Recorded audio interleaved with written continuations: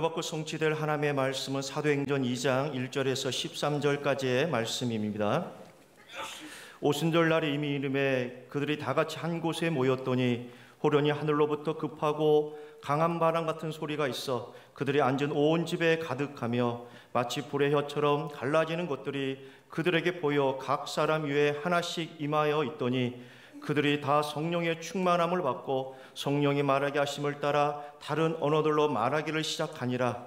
그때 경건한 유대인들이 천하 각국으로부터 와서 예루살렘에 머물러 있더니 이 소리가 남에 큰 무리가 모여 각각 자기의 방언으로 제자들이 말하는 것을 듣고 소동하여 다 놀라 신기하게 여겨 이르되 보라 이 말하는 사람들이 다 갈릴리 사람이 아니냐 우리가 우리 각 사람이 난 곳 방언으로 듣게 되는 것이 어찌 됨이냐 우리는 바데인과 메데인과 엘람인과 또 메소포타미아, 유대와 갑바도기아, 본도 아시아, 브루기아와 밤빌리아, 애굽과 및 구레네에 가까운 리비아 여러 지방에 사는 사람들과 로마로부터 온 나그네 곧 유대인과 유대교에 들어온 사람들과 그레데인과 아라비아인들이라.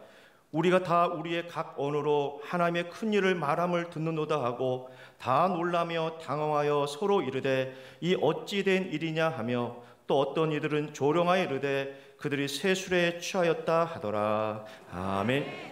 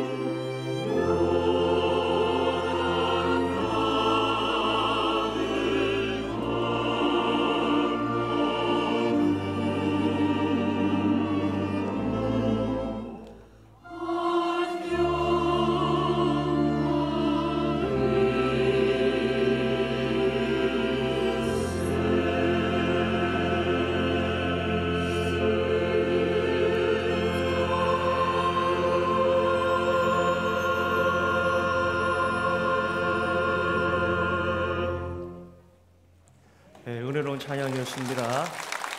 담임 목사님은 유럽 전도 집회 및 remnant 대회 참석을 위해 지금 출국 중에 계십니다. 담임 목사님의 오력과 만남의 축복을 달라고 계속적으로 기도해 주시기 바랍니다. 오늘 말씀은 담임 목사님이 어제 녹화하셨습니다. 말씀 듣겠습니다. 신앙 고백합니다. 주는 그리스도시요 살아계신 하나님의 아들이십니다. 아멘. 우리 서로 다 인사합시다. 개인 행전을 기록합시다. 읽어드린 말씀 가지고 성령 시대의 개막이라는 제목으로 말씀을 드립니다. 오늘 우리 성도들과 함께 아, 할수 없어서 어쩔 수 없이 화면으로 여러분을 어, 이렇게 만나게 되는데 이번 주는 유럽 어, 전도 집회 및 어, remnant 대회가 아, 독일 프랑크푸르트에서 진행되기 때문에 비행기 스케줄이 그렇게 주일 오전에 출발할 수밖에 없었습니다. 그래서 어제 제가 녹화를 했는데 이 화면을 보는 시간 저는 독일행 비행기 안에 있을 것입니다. 2, 3절 나라 5천 종족 복음화 하라는 하나님의 지상 최대의 명령을 순종해서 가고 있기 때문에 또 전도자 유목사님과 함께 정말 이 현장 가기 때문에 우리 예언계 모든 성도들이 충분히 이해해 주실 것이라 생각됩니다.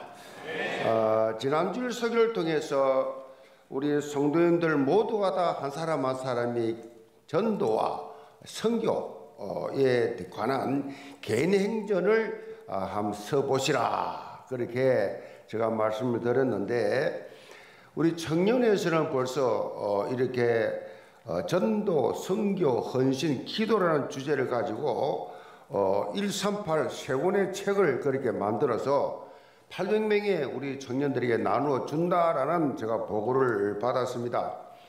이렇게 강단의 말씀이 떨어지면 사람 말이 아니라 하나님의 음성으로 듣고 여러분 삶 속에 적용하면 반드시 여러분 개인 행전이 기록될 줄로 믿습니다. 저는 은주 행전을 서기 위해서 어, 지난주는 일본 랩너 대회, 이번 주는 이렇게 독일 현장을 가고 있습니다.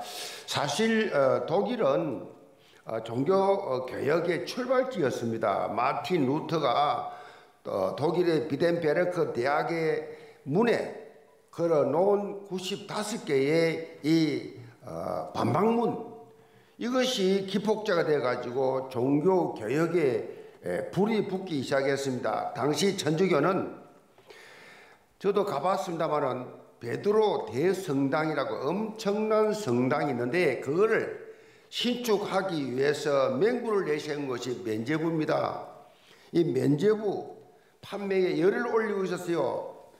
면제부를 사면 지은 죄가 다 사해진다. 라는 이런 어, 전적의 주장입니다. 면제부 판매를 어, 하는 사람이 비덴 베르크 왔을 때에 루터가 이런 말도 안 되는 비성경적 어, 이 어, 교리에 대해서 반박을 한 것입니다. 그리고 라틴어로만 되어 있어서 평신도들이 성경을 읽을 수가 없는 것을 독일어로 그렇게 번역이 되면서 종교 개혁의 불길이 그렇게 붙게 되어졌습니다. 그냥 말로 활활 타올랐지요. 이 루터가 독일어로 성경을 번역하는 이 상황이 되어질 때에 아, 루터가 어, 이런 어, 라틴어로 이렇게 번역을 라틴어를 독일어로 번역한 것이 정말 성인도였다. 그런데 이런 독일이 지금은 어떻게 되느냐? 자유주의 신학의 이 본 고장이 되어 버렸어요. 자유주의 신학이 뭐냐? 그 핵심은 바로 인간의 이성으로 판단할 수 있는 말씀만 받아들인다.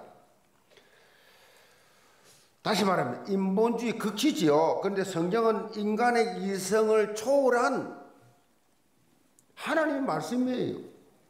인간이 이해할 수 없는 하나님만이 할 수 있는 능력으로 기록한 것이 성경인데 인간 이성, 인간이 이해할 수 없는 건 못 받아들이겠다는 것입니다. 이게 이 자유주의입니다. 우찌무라 깐조라고 하는 어, 이 신학자는 성경에는 기적을 제외하면 끝장 두 장만 남는다. 그렇게 어, 말을 했습니다. 그만큼 하나님의 말씀은 이 성경은 인간의 이성으로 절대로 재단할 수 없는 것이다. 그래서 중요한 것이 뭐냐? 믿음으로. 믿음으로. 안 믿어서 도저히 이해가 안 돼. 이해가 안 되는 것을 믿음으로.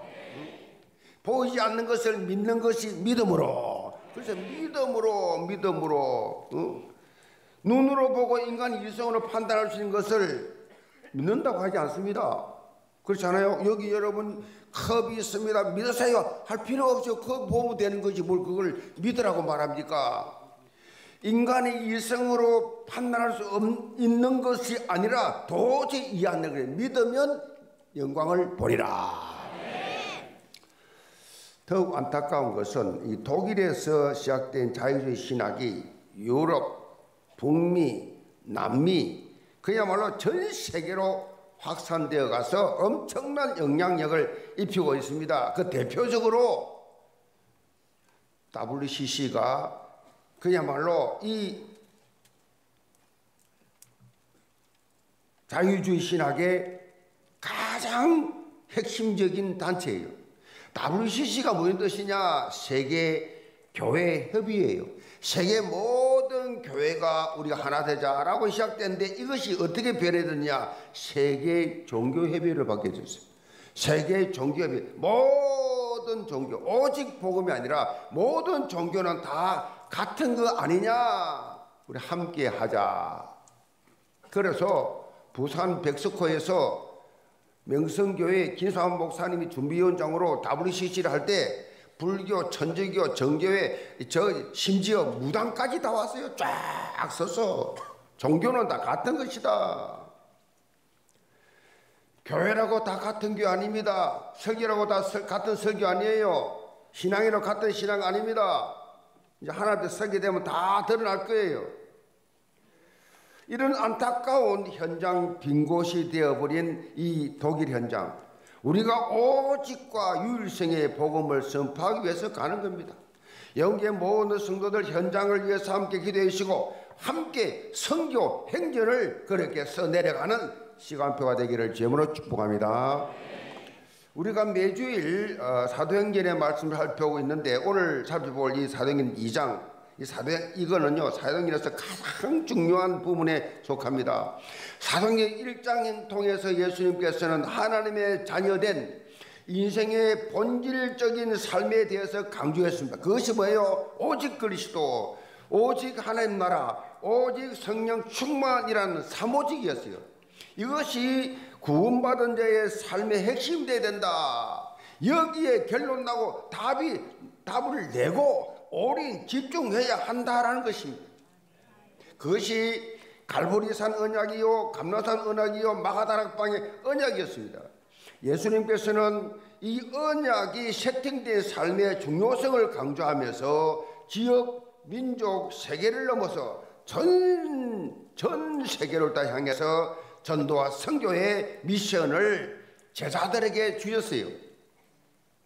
그런데 독특한 것은 이 미션 실현이 결코 제자들의 힘과 능력으로 노력으로 되어지는 것이 아니다라는 것을 강조했습니다. 어떻게 이 어마어마한 미션을 실행할 수 있느냐? 오직 성령이 내게 마시면 너희가 권능을 받고 예루살렘과 온 유대와 사마리아와 땅끝까지 이르러 내 증인이 되리라 하시니라. 핵심이 뭐예요? 오직 성령이에요. 신앙생활을 잘 하려고 하려고 애쓸 거 없습니다. 주여 성령 인도받게 하여 주옵소서. 성령 오직 성령 성령 눈에 안 보입니다.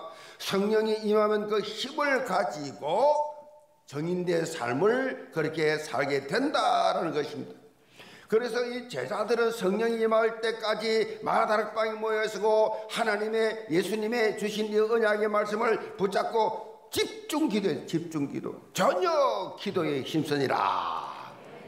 그리고 그 언약이 성취되었음을 보여주는 말씀이 바로 사도행전 2장 말씀이에요. 오늘 말씀 제목처럼 성령이 강림하면서 본격적으로 모여 성령 시대가 개막이 된 것입니다. 성령 시대. 지금 우리도 성령 시대에 살고 있어요. 영계 모든 성도들 오늘 말씀을 통해서 하나님께서 왜 성령을 우리에게 보내주셨으며 그것도 오순절이라는 특정 시기에 보내진 중요한 목적을 깨닫고 성령에 이끌려 하나님 나라 일을 감당하는 성령의 사람들 다 되시기를 주임으로 축복합니다. 그럼 첫째로 오순절에 임한 성령입니다. 1절 봅니다. 오순절 날이 이름에 그들이 다 같이 한 곳에 모였더니 예수님께서 성천하시기 전에 제자들에게 예루살렘에 머물어서 하나님께서 약속하신 것을 기다리라고 말씀하셨어요. 자, 그리고 몇 날이 못 되어 성령으로 세례를 받게 될 것이다 라고 약속하셨습니다. 이 언약이 성취되는 이 시점이 온 것입니다. 그 날이 바로 오순절 날이었어요. 오순절은 6월절과 이어지는 초신절로부터 50일이 지난 날을 6월절이라 소실절은 하나님께 가장 먼저 익은 보리단을 드리는 날로서 6월절 이후에 첫 번째 안식일이 그 다음 날이에요. 복잡하지요? 복잡한데 한마디로 딱 말하면 지금의 주일날입니다. 지금의 주일날이 오순절 성령이 임한 날입니다. 지금의 오순절 이 주일날 예수님은 이 초실절에 부활하셔서 잠자는 자들의 첫 열매가 되셨고 40일 동안 제자들에게 하나님 나라 일을 말씀하시고 성전하셨습니다. 그리고 나서 10일이 지난 오순절에 성령이 오신 것입니다. 사실 과거에도 성령이 계셨습니다. 실제로 활동하셨습니다. 지금 오순절에 성령이 임하신 것은 특별한 의미가 있습니다. 오순절은 보리와 밀 이 추수를 통해서 그 감사의 열매를 하나님께 드리, 드린 날이었는데 이제는 본격적으로 영적 추수입니다. 영적 추수 생명의 열매를 하나님께 드리는 시간표가 왔다는 것입니다. 이제는 곡식이 아니라 생명, 생명, 영적 추수 사도행전 8절의 언약 성취가 본격적으로 성취되었다는 신호탄이 바로 성령 인재입니다. 어떻게 모든 족속 땅끝 만민에게 복음을 전할 것이냐? 당시의 6월절과 오순절이 되면 전 세계에 흩어져 있던 유대인들 디아스포라들 이 유대인들은 다른 민족과 다릅니다. 언제나 하나님 말씀에 불순종할 때마다 포로로 속국으로 그렇게 나라의 모든 나라가 없어져 버렸어요. 나라가 없어져 버렸어요. 전 세계로 다 흩어져서 종살이하고 그냥 그렇게 거기 노예 생활하고 그렇게 그렇게 살던 디아스포라들이 2000년 동안 나라 없었습니다. 예수님이 오시고 그냥 계실 때 그때 이 속국으로 있었는데 예수님 성장하신 나라 없어져 버렸어 아예 나라가 그래가지고 여러분 아신 것처럼 우리나라가 어, 1945년에 해방된데 저 2차 대전 끝나자마자 미국의 힘을 얻어가지고 저 땅을 돈 주고 사가지고 들어온 거예요 팔레스타인에 예루살렘 다시 자기들 땅인 땅이라고 주장하며 들어와서 돈 주고 사서 시작한 것이 1948년 아닙니까? 여러분 2000년 동안 나라 잃어버려 그러니까 전 세계의 디아스포라들 그들이 명절이 되면 예루살렘으로 쫙 모여왔습니다. 이것은 온 인류가 복음 안에서 하나 되는 큰 비전을 보여주는 것입니다. 그리고 이제는 성령에 붙들려서 영적 추수 2, 3, 7 나라 5천조 복음화에 쓰임 받는 삶을 살아야 한다는 메시지예요. 특별히 감사한 것이 있습니다. 구약 시대는 성령이 하나님의 일을 감당하는 특정 인물, 특정 인물에게만 그렇게 임하셨다가 떠나시기도 했어요. 그 당시 제일 무서운 것이 주의 성령을 내게서 떠나가지 마시고 그 기도했어요. 주의 영이 내게 있어야 이 모든 사역들을 감당하는데 떠나시면 나는 힘다 잃습니다. 주의 영을 떠나기 내게서 떠나지 말게 하시고 그 정도로 오셨다 가셨다 하셨어요. 그런데 오순절 강림 이후에 이런 패턴이 사라졌어요.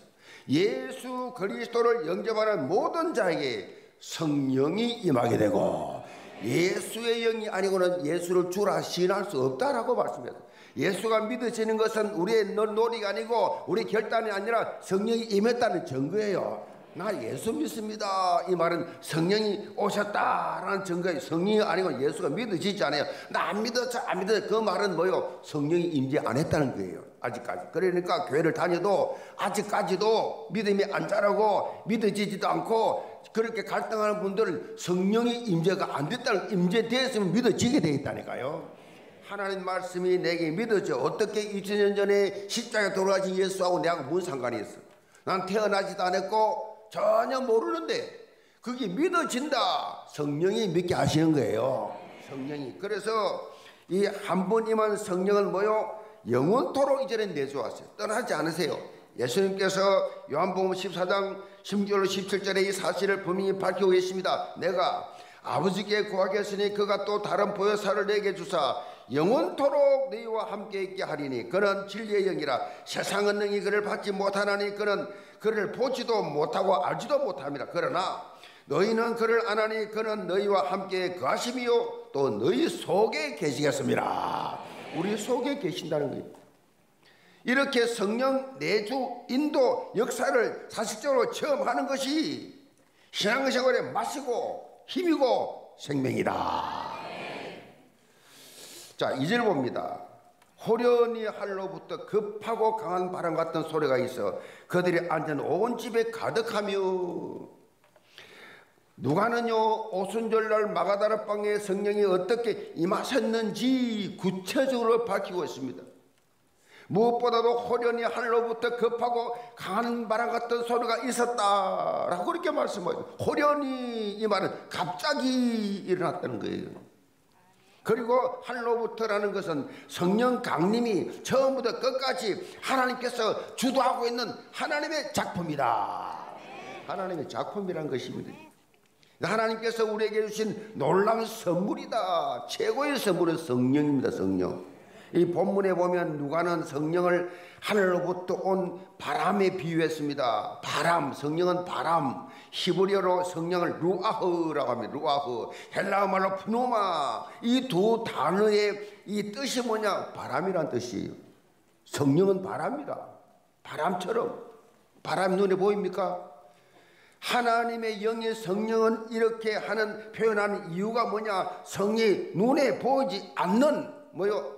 않지만은 힘이 있다 그 말이에요. 성령이 힘이 있기 때문에 특별히 본문에 보면 급하고 강한 바람 같은 소리라고 표현했는데 이것은 갑자기 강력한 바람이 불 때 나는 소리처럼 강력한 힘이 그들 가운데 확 임했다는 것입니다. 이것이 무엇을 의미하느냐 하느냐 성령의 바람이 불어서 재창조의 역사가 시작되었다. 재창조. 창세기 2장 7절에 하나님의 생기가 들어가 아담이 성, 생명이 되었듯이 120명의 제자들에게 하나님의 호흡, 하나님의 생기가 임하는 재창조 역사가 그 현장에 일어나 버렸다. 재창조.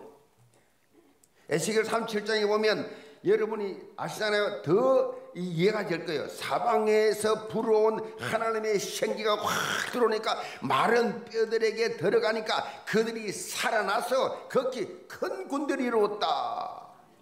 똑같은 새로운 생명 회복의 시대가 열렸다는 것입니다.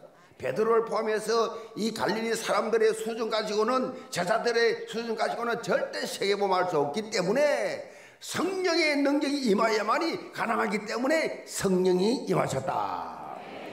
교회 일을 할 때, 신앙생활을 할 때 내 의지로, 내 머리로 하는 거 아니에요. 성령께서 주신 힘으로 하면 어렵지 않습니다. 아주 행복합니다. 감사합니다. 교회사적으로 오순절날 마가다락방에 성령이 강림한 그때를 신약 교회가 탄생한 때다. 신약 교회가 탄생한 그때다. 우리가 말하는 마가다락방 교회 초대 교회가 바로 성령 강림으로 출발이 된 것이다.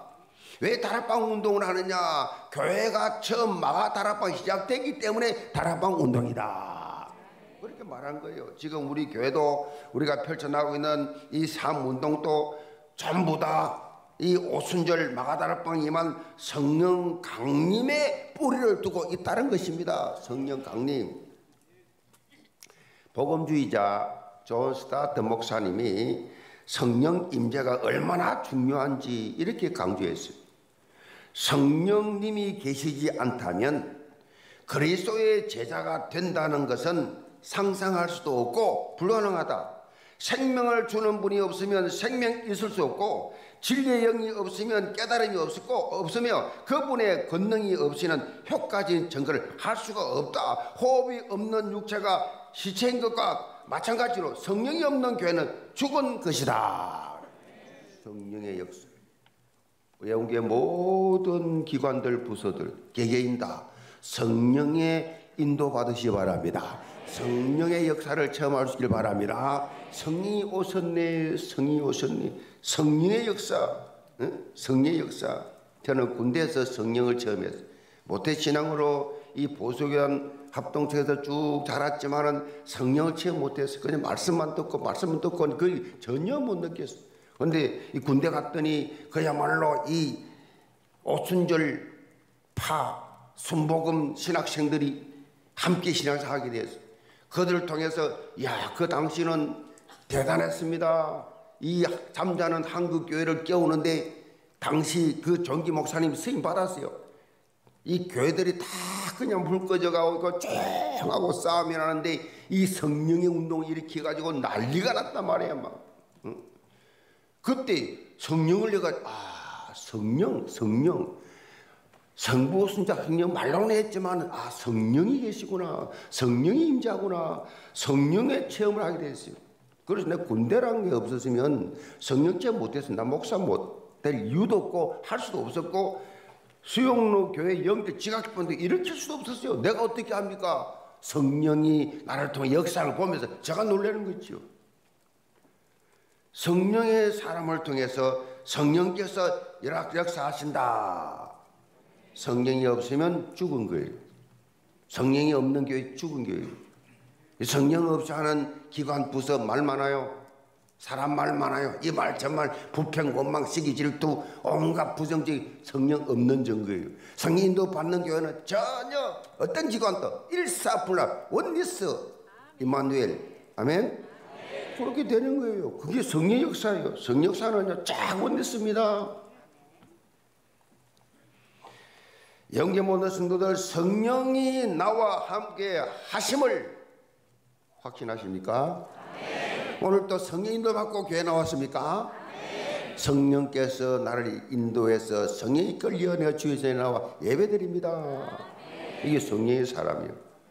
물론 뭐 어쩔 수 없이 부덕불 억지로 왔는지 몰라도 우리 새 가족들도 삼일조 통해서 어쩔 수 없이 왔다 할지라도 성령에 이끌려 왔다라고 믿으시 바랍니다. 그래야 여러분이 신앙이 자랄 수 있습니다. 나, 나는 내가 무슨 내가 내가 내가가 없어요. 성령께서 나를 인도하시고 성령께서 나를 사용하시고 성령께서 나를 통해서 역사하신다. 그래서 전도와 선교 작품이 만드는 삼운동의 주역들 다 되시기를 주임으로 축복합니다. 두 번째로 성령을 보내신 이유입니다. 3절 4절 봅니다. 마치 불의 혀처럼 갈라지는 것들이 그들에게 보여 각 사람 위에 하나씩 임하여 있더니 그들이 다 성령의 충만을 받고 성령의 말하게 하심을 따라 다른 언어로 말하기를 시작하니라. 저는요, 이 청년회 회장을 해가지고 3, 40명 되는 걸 1081명까지 올렸더니 전국이 난리야. 청년의 부흥의 비결 좀 가르쳐 달라고. 주일학교 뭐 이렇게 뭐 고등부 뭐 중등부 뭐든 아 부서들을 맡아서 부흥시킨 것 심지어 당에 제가 이 장로하면서 재정을 2억 4천을 싹 팔지 그 당시 엄청난 갑절로 그렇게 결산된 그런 것들까지 해서 막 전국에서 난리 볼때 내가 본문이 뭐였냐면요. 그게 본문이 사도행 2장 1절로 4절이었어요. 그때는 그야말로 이 성경도 안, 읽- 안 봤어요. 오순절 날이 이미 이름에 지가 닭과 창고에 보더니 호련이 할로부터 급하고 강한 바람 같은 소리에서 앉아는 온 집에 가득하며 성령이 해같이 갈라져 머리 머리 임하면 성령 충만하고 성령이 방언을 다른 방언으로 말하게 하시니라. 딱 죽여놓고 시작했어요. 그래서 이 2장 1절로 4절을 엄청 좋아합니다. 이 말씀 가지고 그냥 전 세계를 전국을 1년에 100개 이상 이 말씀 하나 가지고 그냥 성령 역사 없이는 불가능하니까 성령을 체험 했기 때문에 누가는 성령이 임한 모습을 시각적으로 표현했습니다. 누가는 의사잖아요. 의사가 얼마나 정확한 사람들입니까? 얼마나 이 과학을 주장하는 사람입니까? 얼마나 기초 과학을 한 사람들이요. 이 시각적으로 시각적으로 이 성령 임재를 표현했습니다. 불의 혀처럼 갈라지는 것들이 저에게 보여 각 사람이 하나씩 임하여 있더니 불의 성령 임하면서 막 밝게 많은데 모든 사람이 불의 혀처럼 불의 혀처럼 쫙 임하는 걸 그대로 표현한 거예요. 그, 그대로 보고 야 성도 여러분 엄마에 보면요 잠깐 나타났다가 없어진 것이 아니에요. 계속 머물러 있었어요. 계속 머물러 있어요.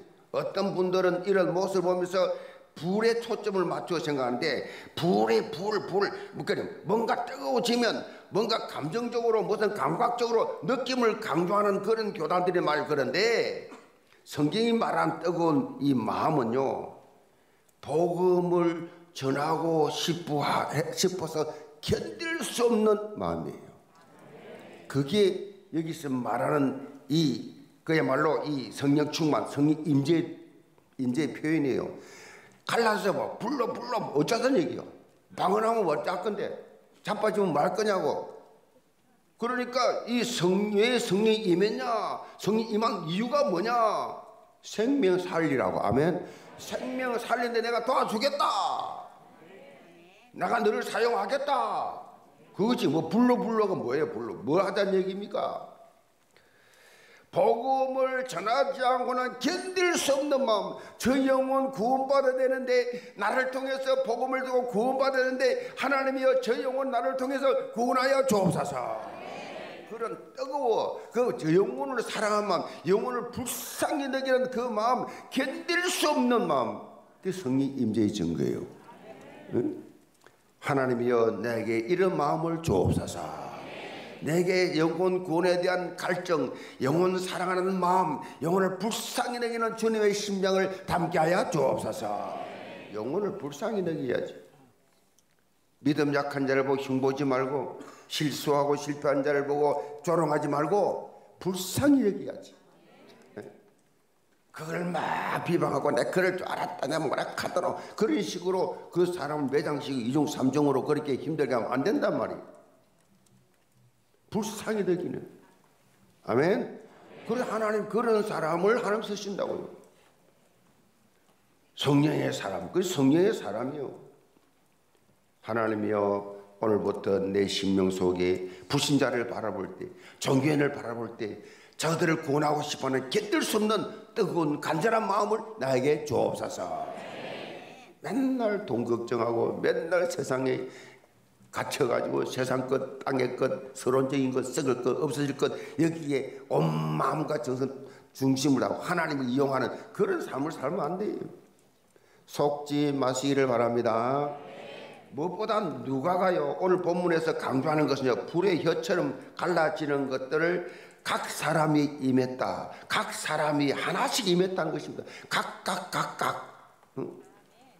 도매꼬로 몽땅이 아니고 각각 120명 머리 무리에 각각 과거에는 성령이 어느 특정인 에게만 임했지만은 예수님의 구속 사기 이후에 그것이 바뀌었어요. 이제는 그리스도 예수 그리스도를 내 인생의 주인으로 모셔드리는 모든 사람에게 성령이 임하신다. 그리고 놀라운 것은요 마가다라방에 있었던 120명 제자 모두가 다 모두가 다 120명이 성령 충만함을 받고 그랬어요.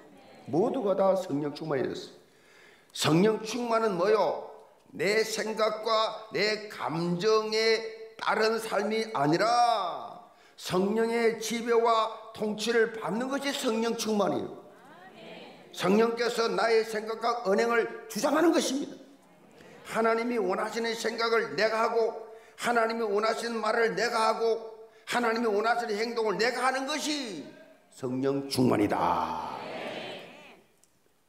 오늘 본문에서 제자들이 성령의 충만을 받자 나타나는 현장이 현상이 있습니다. 그것이 바로 성령이 말하심 따라 각 나라 말로 말하기 시작합니다. 각 나라 말로 15개국에서 왔는데 그 나라 말로 각자 말하기를 시작했다. 놀랍죠. 이거 지상 방언이라 그럽니다. 방언은 반은 지상 방언이고 천상 방언이 있어요. 천상 방언은 바울이 말한 것처럼 못 알아봐. 나도 모르고 니도 몰라. 그냥 영이 영으로 말하는 게 천상 방언입니다. 영으로. 그런데 지상 방언은 영어도 안 배운 사람이 헬라말로 안 배운 사람, 라틴어로 안 배운 사람이 쫙 독일어도 모르는 사람 쫙 말을 해. 그 지상 방언이라. 각 나라별로 말하기 시작했어요. 본문 11절에 보면 제자들이 각 나라의 방언으로 한 말이 무엇인지 밝히고 있습니다. 11절입니다. 11절. 거리대인과 아라비아인들이라 그 우리가 다 우리의 각 언어로 하나님의 큰 일을 말함을 듣노노다 하고 어, 놀랍지요. 놀랍습니다. 정말로 어떻게 이럴 수가 있느냐. 지금 제자들이 각 나라의 방언으로 세상적인 이야기를 한 것이 아니었어요. 각 나라 방언으로, 각 나라 언어로 무슨 사업적인 이야기를 한 것이 아니었어요. 하나님의 큰 일을 말했다는 것입니다. 하나님의 큰 일을 말함을 보는도다. 하나님의 큰 일이 뭐예요? 하나님의 큰 일이 뭐냐고요? 예수 그리스도를 통한 십자가의 대속과 부활을 말했던 것입니다. 너희들이 죽인 저 나사렛 예수 그분이 살아나셨다. 그분이 우리가 기다렸던 메시아다. 그분이 우리의 그리스도다. 이 하나님의 큰 일이에요. 여러분이 하나님 큰일 하고 싶어요? 그럼 불신자에게 예수님이 그리스도요 예수님이 당신의 죄를 위하여 십자가 죽으시고 3일 만에 부활하셔서 우리에게 영원한 생명을 주셨습니다. 이 예수를 영접하는 순간에 여러분의 과거 현재 미래 죄를 다 용서받고 하나님의 자녀가 되어 신분과 권세 회복되어 사수팔자 운명에 빠져나와 이제는 사단의 결박을 권세를 주셨고 선사 보호받을 그러한 권세를 주셨고 우리가 기도하면 응답받고 하나님이 나를 보호해 주시는 이 응답을 받게 됩니다. 이게 큰 일이에요 큰. 일. 하나님의 큰 일이라고 인간 스스로 해결할 수 없는 열두 가지 문제, 이 모든 영적 문제에 빠져서 죄와 저주 가운데 영원히 죽을 수밖에 없는, 영원히 멸망할 수밖에 없는 이 저주에서 빠져나올 수 있는 유일한 길은 예수 그리스도입니다. 라고 증거하는 것이 하나님의 큰 일이. 그래서 제가 한때는 매일 영접 안 시키면 밥을 안 먹었어요. 매일 영접하시면 잠을 안 잤다고. 그 사업을 할 때 이제 바쁘잖아요. 뭐, 뭐, 뭐, 이 토요일 날 전도 나가는 건 말할 것도 없고, 토요일 되면 막 그냥 나고, 토요일 오후 2시부터 주일이요. 줄 정예배까지. 그땐 줄 저녁 예배가 7시 있어요. 그러니까 밤 9시 돼야 이제 끝나는 거예요. 그것이 평생 했다니까요. 근데 그렇게 어느 날뭐 일이 바빠갖고 영접 못 시켰잖아요. 그럼 집에, 어? 오늘 영접 안 시켰네. 나갑니다. 피곤하지만 나갑니다. 나가서 사람 많은 데 가서 한 사람에게라도 예수 예수 예수 그리스도를 영접시키는 사형리 CCC 교육 받았기 때문에 그 사형 책책 족자 조만한 게 있습니다. 그거 가지고 가서 그냥 그 그대로 예수 그리스도를 영접하시면 하나님 자녀가 됩니다라고 그렇게 말하는 그런 것을 늘 했다니까 매일. 그리고 제가 유치장전도를 7년 7개월을 한 주도 안 빠지게 했는데 갈 때마다 토요일 오후 2시 되면 이제 재판받고 유치장에 다 들어옵니다. 유치장에 다 들어오면 간수 몇 명, 간수 몇 명, 유치인 몇 명 하면 그, 거기다 이제 이제 빵, 우유 뭐 이런 거 야구르 야구르트 들고 가요. 한 몇 명 딱 데리고 그 딱 들어갑니다. 들어가면서 제가 언제나 기도 하나님 지금 유치장 전도 들어갑니다. 비디오 돌리세요. CCTV 드세요. 그때 그 CCTV 없었고 비디오. 그럼 들어가서 막 찬양하는 사람, 간정하는 사람 제가 설교합니다. 집사 때부터. 사용리 가지고 영접 메시지 쫙 합니다. 영접하실 분 일어서시죠. 이 유치장은요 전부 다 잡혀가가지고 갈급합니다. 심리 가난합니다. 다 영접 어떤 때는 100% 다예요. 다 손대로. 여러분은 죄인입니다.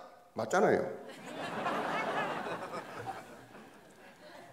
그리고 어떤 때는요, 이 부산청 경찰서, 남북 경찰서, 동네 경찰서, 해운대 경찰서, 이 유치장 이 경, 경찰서를 돌면서 유- 경찰서 안에 다 유치장이 있거든요. 유치장이 시네마스코프 요로 딱 되어 있어가지고 집중하기가 참 좋아요. 그 당시에는 제목, 나이 다 나와 있어. 이름, 제목, 나이 쫙 보고 이러와. 왜 사람 죽였어? 살인 나 모르겠어요. 한 잔 먹고 막 어떻게든지 내가 죽였네요. 후회합니다. 모르겠대. 그 65%가 들락날락해요. 들락날락.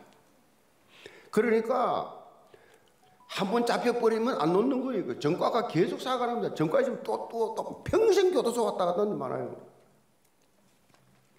복음을 전가할 때 카메라를 찍어 주님 찍으십시오.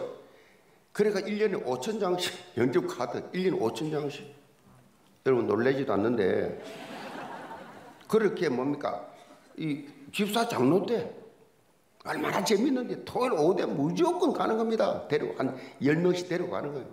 그 나는 나중에 너무 많아가지고 막 유치장별로 다 파송하고 저 제가 가까운데 해운대라 이 동네 가고 그렇게 전도를 했는데 얼마나 성령 기뻐하십니까? 이게 뭐요? 이게 성령의 사람이 하는 것이에요. 일 바쁘잖아요. 사업도 바쁘고 뭐 일거리 많잖아요. 개인 일 얼마나 개인 많아요. 다 내려놓고 그거 뭐 끝도 없는 거예요. 자, 지금 오순절을 지키기 위해서 예루살렘에 와 있던 유대인 디아스포라들이 이 어마어마한 메시지를 듣게 된 것입니다. 본문 9절로 11절에 나오는 바데, 메데, 엘람, 메소포타미아 이거 지금의 이란, 이라크, 인도입니다. 갑바도기아, 본도, 아시아, 브루기아, 밤빌리아, 이 소아시아죠. 지금 터키입니다. 터키. 터키 가면 다 있어요. 이거 다. 이 성경에 나오는 이 도시가 다 있다니까 지금 또. 그리고 이집트와 리비아를 비롯한 아프리카 지역, 로마와 그리스 남쪽 섬인 그레데 되는 유럽 지역, 중동의 아라비아인들이 예루살렘에 와 있었, 있었 습니다. 이들이 이미 세계화를 경험한 이 시대를 앞선 엘리트들이었어 싹 다. 갈릴리 사람들과 비교도 할 수 없는 국제 감각을 지니는 사람들이요. 그런데 무식하기 그지없는 이 갈릴리 어버 출신들이 지금 자기들 앞에서 자기들 나라의 말로 이 복음을 전하니까 충격받은 겁니다. 그러니까 자기 나라에 돌아가서 자기가 사는 나라에 돌아가서 가만히 있겠어요? 이 충격적인 내용들을 다른 사람들에게 전달하지 않았겠느냐? 하나님께서 우리에게 성령 주신 이유는 나 혼자 잘 먹고 잘 살아라고 내 혼자 잘 되라고 나 혼자 이산들하라고 오천정 보험하라고 나 혼자 신앙생활 잘하라고 준 거 아니에요.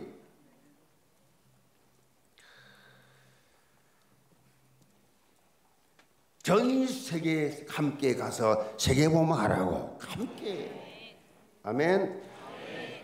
지금도 마가다락방에 임했던 성령 충만 역사를 고나 지금도 동일하게 동일하게 믿는 자에게 역사하고 계신다.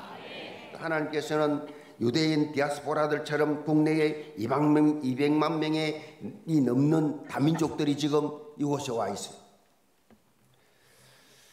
이들에게 하나님의 큰 일, 예수 그리스도의 십자가의 죽으심과 부활하심, 응? 이 놀라운 이 복음을 전해야 한다는 것입니다. 그들이 복음을 받고 제자가 돼서 자기 나라 돌아가, 돌아가서 이런 복음적 충격을 가지고 돌아가면 가만히 있겠어요?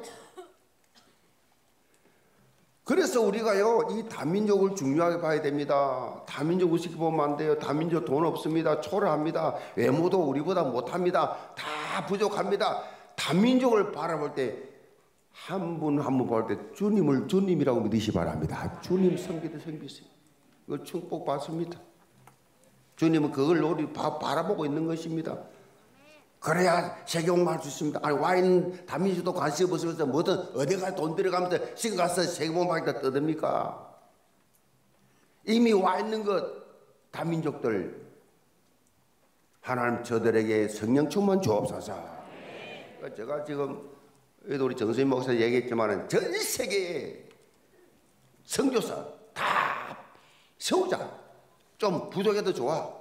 좀 모자리 현지인들 막 세우자. 막 세워. 겁 없이 그냥 세워서 우리가 전환리 보고 미원교회 방향을 같이 하겠다면 같이 하면서 이 다락방 운동을 하겠다 하면 무조건 세우는 거다. 세워놓고 나중에 변질되면 자르면 되잖아.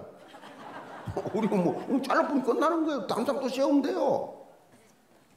그러니까 뭐 이렇게 주저주저 하고 따지고 이래 버리면요. 이거 2, 3주 나라 언제 세우겠어? 저는 마음이 급합니다 지금. 우리가 잘 알아야 될 것은요. 성령 충만은 구원을 위해서 필요한 것이 아니라 하나님 나라를 위해서 절대적으로 필요한 능력이다. 하나님 나라를 위해서.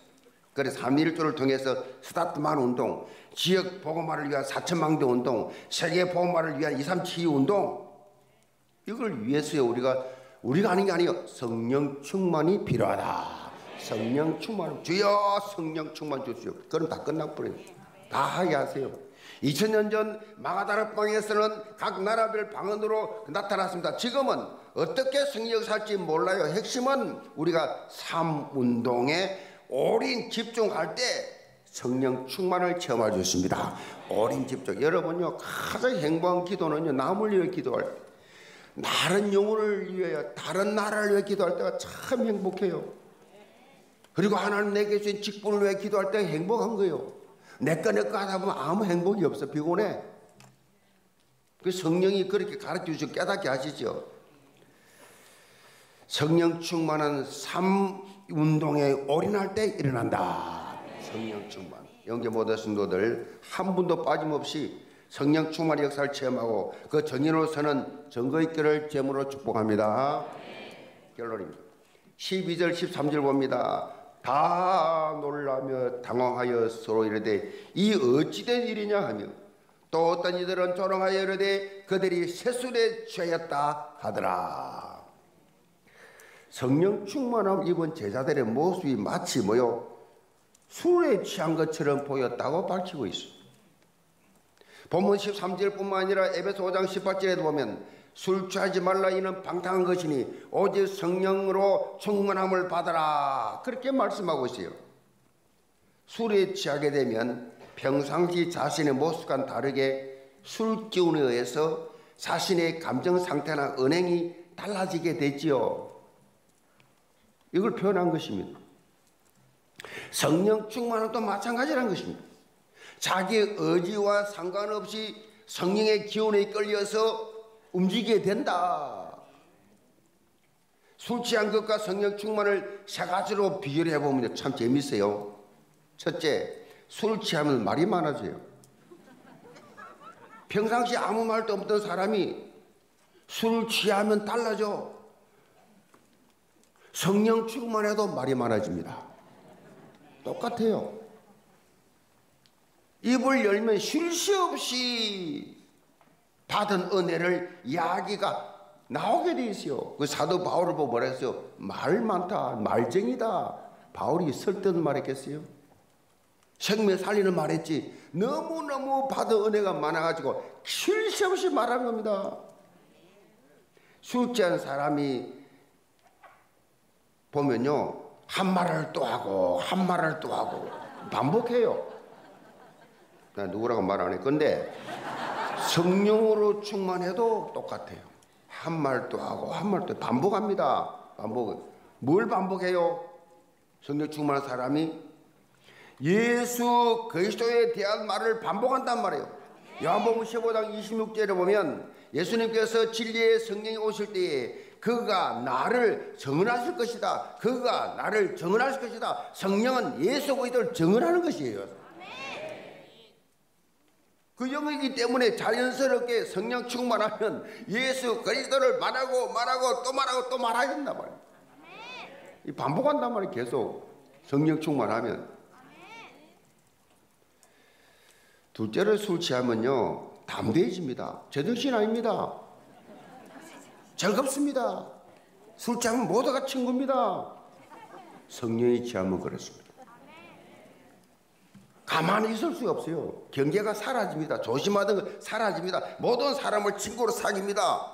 그냥 말을 걸고 평상시 전도와 그냥 말로 이 전도 전혀 상관없던 사람이 그냥 말로 성령 충만하면 만나는 사람마다 복음을 증강되어 있다니까요. 이렇게 달라져 버려 달라져. 왜 전도 못하느냐? 성령도 못 받아서 그래. 성령 충만 안 해서 그래요. 심지어 전 핍박 핍박을 하는데도 심지어 순교도 성령 충만하면 그 어렵지 않게 해버려요.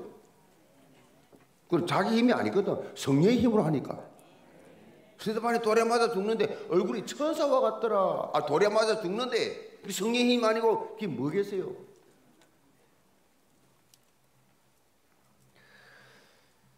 마지막으로 술에 취해 있으면요 중독이 되죠. 술을 먹고 먹으면 술이 중독이 돼가지고 모든 것이 어떻게 피폐해 버리죠.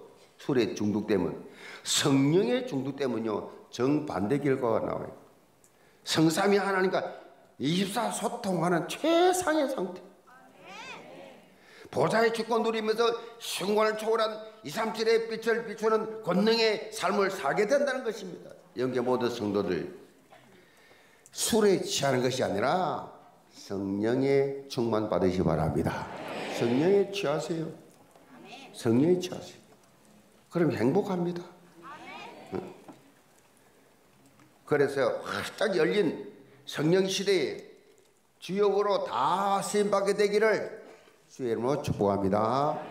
기도합시다. 아버지 하나님 영계 모든 성도들 성령 시대가 개막이 되어져서 오순절을 임한 성령이 지금 예수 그리스도 영접한 나에게 임재 계시는데 어떻게 하면 나도 술 취하지 않고 성령에 취해서 성령 충만해서 사람을 살릴 것인가? 이 스타트만 운동, 이삼절 치유 운동, 사천망대 운동을 통하여 삼모직의 이 운동 속에 들어가게 하여 주시옵시고 삼일조 구성에서 많은 생명들을 살려내는데 하나님 앞에 쓰임 받을 수 있도록 날마다 성령에 취해서 성령 충만해서 성령 인도 받는 성령이 말하시심 따라. 성령이 소원하는 대로 따라가는 성령의 사람들이 다 되어져서 개인 행전을 기록하는 영계의 모든 그리스도의 제자들이 다 되게 하여 주옵소서. 예수 그리스도를 받들어 기도하옵나이다. 아멘